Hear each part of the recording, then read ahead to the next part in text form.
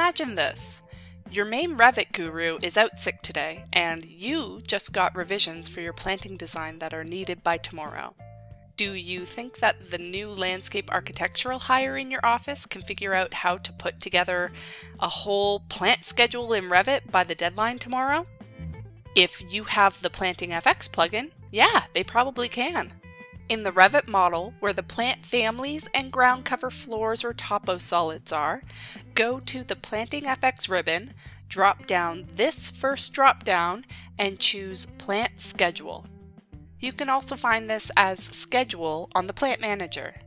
By clicking it, Planting F/X just made and opened one or two schedules depending on the types of plants placed trees and shrubs, and then ground covers. Go to your sheet and drag and drop the schedules onto the sheet. That's it! you learned to make a schedule in one minute. Seriously, it was that easy. It's got the symbol, the plant codes, the botanical and common names spelled correctly, the quantity, and all the other information that your office has already decided plants should have in the schedule.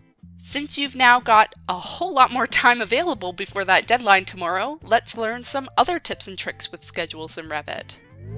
The columns here are all tied to the parameters in the Revit Properties dialog when you select a Planting F/X tree or shrub family or a ground cover floor or topo solid.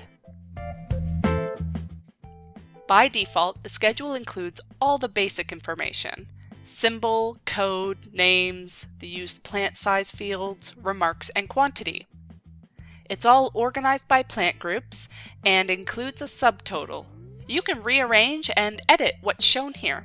In the schedule under Properties and Other, click to edit. In Fields, you can add or remove various LAFX and other fields and rearrange the order.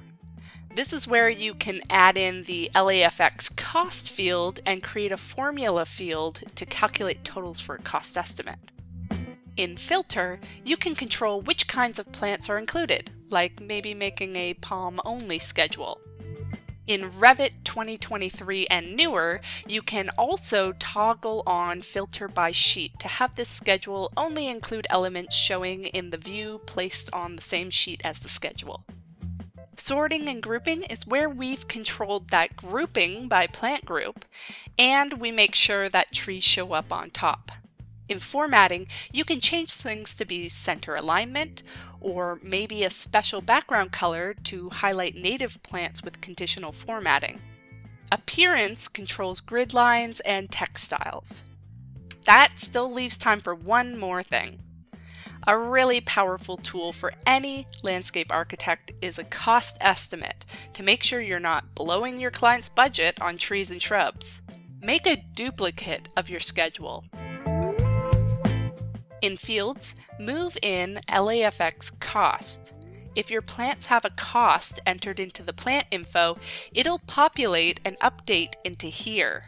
Ideally, move this right after the count field. Then use the calculated parameter to create the easiest calculation ever, just the LAFX cost parameter. It's kind of a duplicate, but call it extended cost. The actual calculation comes in the Formatting tab. For extended cost, change No Calculation to Calculate Totals. Click OK, and you've got a cost estimate. Those are the main controls you need for the Planting F/X Revit schedules to dial it into your company's standard style and get the information you need right now.